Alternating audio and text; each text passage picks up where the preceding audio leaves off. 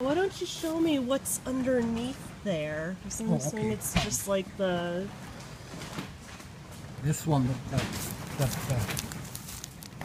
Okay, and that white pipe there is the yeah, water. That's, that's okay. my water line. Okay. And the soil is it soil from your farm? Yeah, or is this was, uh, um,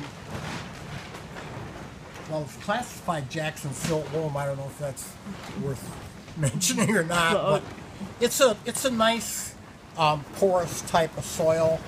I've really had exceptionally good luck growing. It's not sand, but it's not real bad clay either.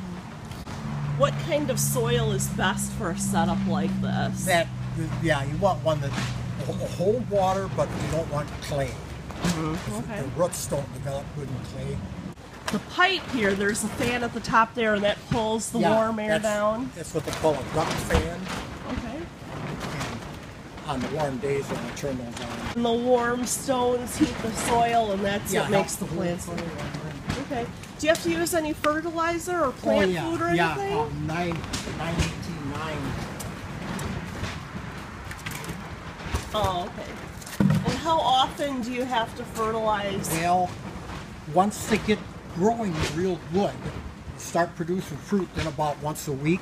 Do you start the radishes inside? Too, No, those I started right out here. Oh, okay. You know, I just planted them. Oh, and they're just growing along.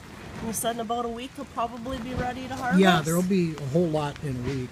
We're eating them now, you know, but Oh yeah. they're, it, you know, it can use another week according to the size of a store one, you know. Yeah.